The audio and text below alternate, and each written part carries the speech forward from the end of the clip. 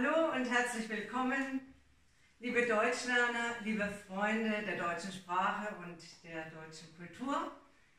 Wir bei Sprachinstitut Treffpunkt Online freuen uns, dass es weitergeht in der Denkmalserie zusammen mit dem Künstler Ralf Metzenmacher. In dieser Serie werden sechs Personen vorgestellt aus Deutschland, die Ralf gemalt hat und zu denen er uns etwas erzählen wird.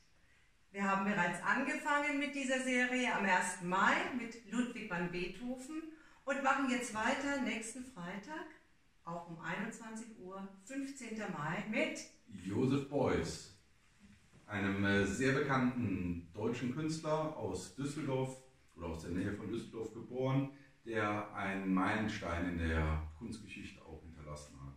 Wir freuen uns sehr ja. und äh, ich bin sehr froh und dankbar, mit dem Sprachinstitut Treffpunkt Online zusammen euch die Kultur und die Sprache ein bisschen näher zu bringen. Informationen dazu findet ihr auf Facebook. Dort gibt es den Einladungslink für Zoom.